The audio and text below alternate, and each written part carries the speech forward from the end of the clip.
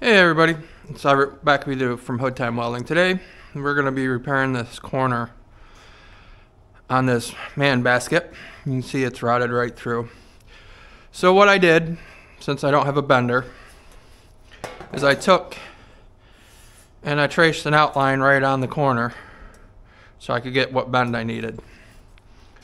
Then, I already got it done, but I'll tell you how I did it of making the piece. So what I had to do is since I had to curve, what I did is I measured the outside radius and then figured out how many sections were in six sections.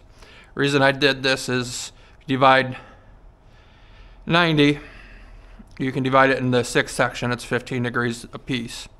So then I equally spaced each one and then I went through and marked out 15 degrees in each one and then what I did is I cut out six times, cut out a little 15 degree section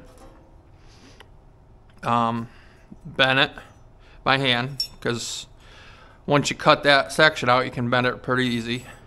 And you can see it's got a pretty nice radius. Fits right in what I had. And she matches the original pretty decent. It's not perfect but you won't even really notice once I get it all together. The other thing I'm going to do for it is since we want this to have some extra strength, I'm gonna actually have this as a sleeve inside. So what I'll do, so weld this to the original first on the inside and slide this over.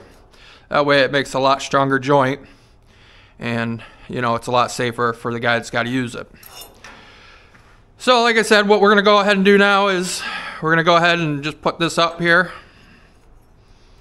We'll put our mark on where we cut it get this cut out, get everything cleaned up, and get everything welded in place.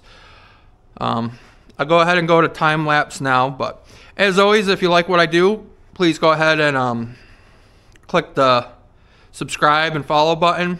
Give me some likes. I really appreciate it. Any comments, go ahead and send them my way. You can ask anybody that's on here. I try to answer right away. All right, so let's get going.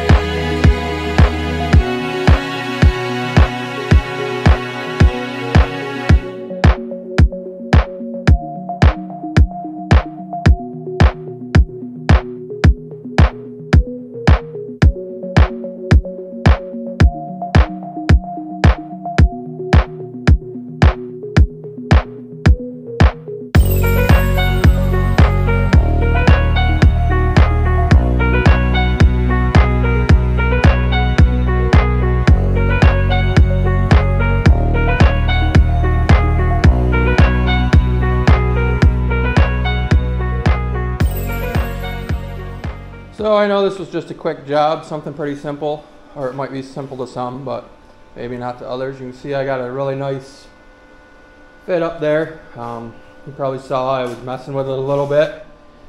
Uh, I just wanted to make it look just like it did when it came out of the factory as best I could.